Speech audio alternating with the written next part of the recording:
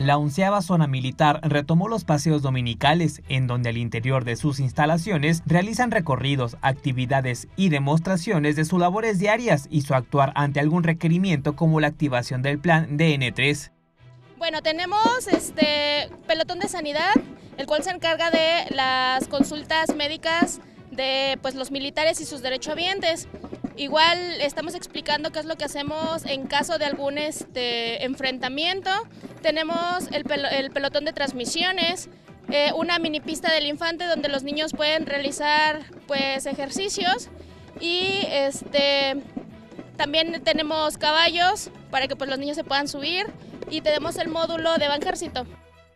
Familias completas son las que se dan cita para convivir con militares, conocer sus instrumentos y tomarse la fotografía, en donde los niños son los más fascinados con la idea. ¿Qué has visitado? ¿Qué te has subido? A los camiones. ¿Y están padres?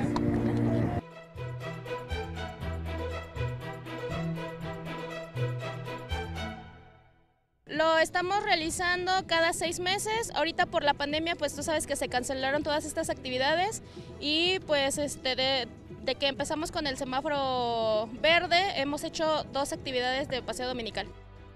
El evento es para toda la familia, adultos y niños por igual, ya que no se perdió la oportunidad de conocer e informarse de cómo actuar ante alguna situación de riesgo. Pues es muy interesante porque este, tienen de todo, pues explican acerca de lo que es el área de estudio, este, su banco, que cuentan con un banco, el área de sanidad, el área de, no me acuerdo, creo que comunicaciones. Eso es lo que he recorrido.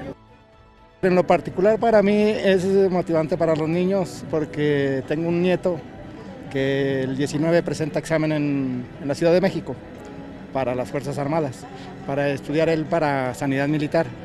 Y mi otro nieto que acaban de ahorita pasar, él tiene su ilusión de también ser militar. Él tiene sueño de ser integrante de la Marina. No, pues está muy bien porque pues se hace muy amplio aquí, está muy bonito, todo muy bien organizado, pero sí está muy bien. Sin duda, estos espacios fomentan la convivencia familiar y basta con solo ver la cara de los niños y sus padres o abuelos, en donde por instantes dejaron de lado todo lo malo y pasaron momentos muy agradables.